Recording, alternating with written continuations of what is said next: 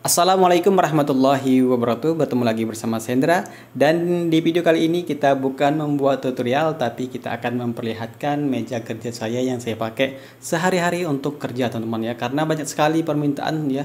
Abang tolong dong uh, di review meja kerjanya Kemudian uh, spek komputernya Dan juga uh, alat yang saya pakai. Nah pertama di sini teman-teman ya untuk yang paling inti adalah di bagian CPU. Nah, di sini saya gunakan CPU rakitan kemarin kita gunakan ada beberapa barang yang bekas, kemudian uh, ada juga yang baru, termasuk baru itu uh, RAM-nya, kemudian kipasnya dan lain-lain. Nah, motherboardnya ini uh, hasil reject teman-teman. Jadi harga yang mahal bisa mendapatkan harga yang murah. Untuk sementara kita pakai yang murah terlebih dahulu. Nah, karena kita masih pemula, jadi pelan-pelan kita upgrade-nya. Di sini kita gunakan uh, RAM-nya 8 GB ya dengan 4 kali 2 kemudian motherboardnya merek apa lupa kemarin ya. Karena uh, kemarin ya tinggal kita pasang-pasang lihat yang bagus kemudian PGA nya masih standar. Dan untuk CPU nya saya gunakan Core i3 ya masih generasi kedua kalau nggak salah. Tapi insya Allah akan kita upgrade ya eh, pelan-pelan uh, ya. Kemudian di sini uh, tentunya ya paling penting inilah oksigennya adalah WiFi gitu teman-teman. Jadi ini kalau WiFi kita mati satu hari itu rasanya galau ya. Lalu kemudian di sini saya pakai headset biasa ya untuk ya editing video kemudian untuk ngajar di salah satu pondok untuk live streaming menggunakan zoom dan sebagainya. Kemudian di sini saya pakai monitor merek uh, Samsung ya. Jadi di sini pak uh, ukurannya 22 inci dengan full HD dan di sini kita lihat teman-teman ya. Saya gunakan keyboard Rexus. Ini kemarin kita beli second juga. Jadi kita beli second di sini harganya kemarin kalau nggak salah itu 175.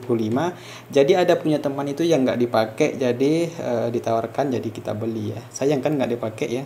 Dan masih bagus teman-teman. Kemarin masih lengkap, masih berbungkus ya. Dan seperti biasa di sini ada jam pengingat ya untuk kita kapan kita mulai berhenti kerja dan kapan waktu sholatnya. Jadi kita harus pasang alarm seperti ini. Oke di sini lalu kemudian ya. Nah di sini saya gunakan uh, pentap teman di sini saya gunakan pentap merek Wacom ya.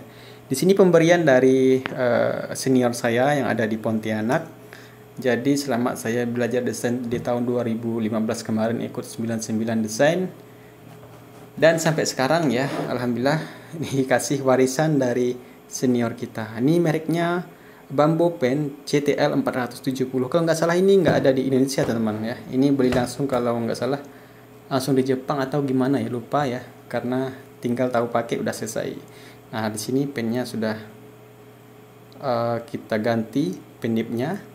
Kemudian di sini saya gunakan Nah, di sini uh, menariknya di sini ada barang bekas ya. Ini bekas tripod dan nggak dipakai rusak kemarin. Ternyata pas untuk menyimpan pentap kita di sini pulpennya. Nah ini pas banget untuk nyimpannya di sini ya. Oke seperti ini. Kemudian di sini kita pakai mouse vertikal. Nah ini mouse vertikal kalau di Indonesia ini harganya sekitar 200 ribuan ya hampir 300 ribuan tapi karena kita beli di luar negeri dapat harga separuh teman-teman ya. Dan ini dikirim langsung dari Cina. Mereknya apa lupa ini ya. Nah seperti ini. Nah, kenapa saya pakai mouse seperti ini? Pertama, teman-teman ya, tangan kita gerakan secara, secara natural ini seperti ini, ya, seperti kita ngegas motor, jadi nggak begal. Kalau kita gunakan mouse seperti biasa seperti ini, wah ini pergelangan ini sakit teman-teman ya, apalagi kalau kita membuat ilustrasi dan sebagainya. Jadi kalau kita gunakan mouse ini, ya pergerakannya enak seperti ini. Nah, jadi eh, nggak nggak capek nggak pegal. Dan alasan kedua saya pakai mouse vertikal ini karena saya gunakan pentop seperti ini. Kan gerakannya nih sama ketika kita pindah ke mouse gerakannya sama. Nah jadi tidak tidak lagi janggal ketika kita, kita gunakan seperti ini kemudian kita balik ke tangan seperti ini nah ini membuat tangan ini pegal ya kalau kita membuat logo 5 atau sampai 6 logo dalam satu hari itu pegal sekali ya jadi uh, kemarin sempat sakit juga ya nggak desain libur sampai satu hari sempat diurut juga ya. Seperti kerja keras ya. Lalu kemudian di sini saya gunakan mikrofon ya. Mereknya juga lupa ini apa ya. Jadi di sini untuk record ya, untuk memberikan. Jadi untuk membuat tutorial sehari-hari saya pakai ini ya. Awalnya saya gunakan pakai Boya M1 kemudian kita gunakan bracket seperti ini. Nah ya. Ini tampilannya dari jauh. Dan seperti biasa saya gunakan kursi biasa teman-teman. Nah di sini saya gunakan kursi plastik ya untuk duduk. Nah seperti ini. Lalu kemudian di sini saya gunakan eh, ada tab apa nih tab studio ya. Jadi ini adalah sound cardnya dan ini tidak lagi saya pakai karena udah sepertinya error ya. Jadi nggak saya pakai. Dan sini saya pakai TP-Link nah untuk lampu saya gunakan seperti ini.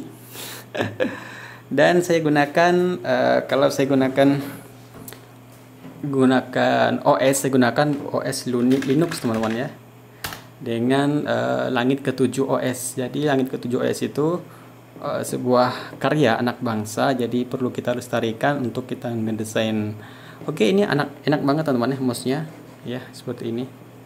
Jadi recommended lah buat teman-teman. Jadi tim kita udah pada ngincar mouse ini juga untuk e, berpindah ke yang lebih enak ya. Karena ini saran-saran dari senior kita juga ya Nah teman-teman mungkin sampai di sini dulu video kali ini ya. Semoga bisa menginspirasi dan menjawab pertanyaan teman-teman ya. Kalau misalnya kurang puas dengan unboxingnya ya wajar lah ya. Karena nggak punya bakat untuk unboxing. Baiklah teman-teman ya saya Hendra mengucapkan wassalamualaikum warahmatullahi wabarakatuh